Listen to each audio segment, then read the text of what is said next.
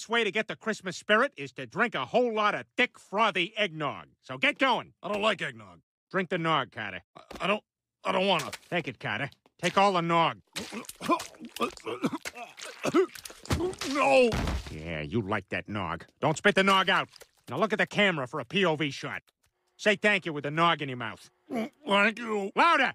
Thank you. Good. Now go down to the hotel lobby and check out with nog all over your face. All right.